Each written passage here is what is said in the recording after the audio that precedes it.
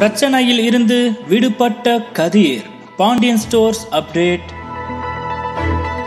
விஜய் டிவியில் ஒளிபரப்பாகி வரும் சீரியல் பாண்டியன் ஸ்டோர்ஸ். கதிர் செந்தில் சேர்ந்து மகேஷ் ரதியின் திருமணத்தை நல்லபடியாக நடத்தி வைத்தனர்.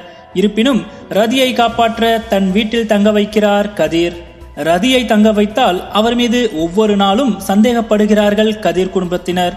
கதிர் எதையோ மறைக்கிறார் என அவர் மீது பெரிதாக சந்தேகம் வர அதை கண்டுபிடிக்க பல பிளான்களை போடுகிறார் முல்லை.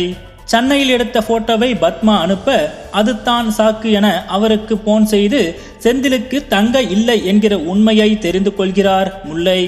எப்படியாவது ரதியிடம் உண்மையை கேட்டு தெரிந்து கொள்ள வேண்டும் என முடிவு செய்கிறார் முல்லை. ரதியிடம் முல்லை துருவி துருவி கேட்க அவரோ வேறு வழி இல்லாமல் உண்மையை சொல்கிறார்.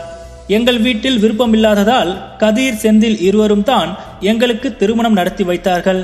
வீட்டிற்கு தெரியாமல் திருமணம் நடந்ததால் தான் இத்தனை பிரச்சனை எனவும் கூறுகிறார் ரதி. இத்திருமணம் பிடிக்காத குடும்பத்தார் தன்னை துரத்தி வர வேறு வழியில்லாத கதிர் தனது வீட்டிலேயே தங்க வைத்ததாக கூறுகிறார் ரதி.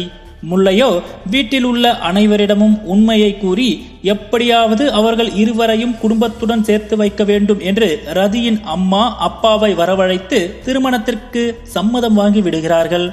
கதிர் வந்தவுடன் வீட்டில் உள்ள அனைவரும் ரதியை பற்றிய உண்மையை மிரட்டி கேட்க அவரும் எல்லாவற்றையும் கூறுகிறார். அனைத்தையும் கூறிய பின் வீட்டில் உள்ள அனைவரும் சிரிக்க என்ன நடக்கிறது என்று தெரியாமல் முழிக்கிறார் கதிர்.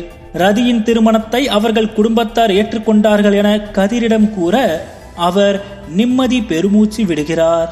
முல்லையால் தான் இது நடந்தது. அவருக்கு நன்றி கூறு என குடும்பத்தினர் கதிரிடம் கூற அவர் மிகவும் மகிழ்ச்சி அடைகிறார். மேலும் இது போல அடுத்தடுத்த சுவாரஸ்யமான தகவல்களை தெரிந்து கொள்ள மறக்காம சப்ஸ்கிரைப் பண்ணுங்க.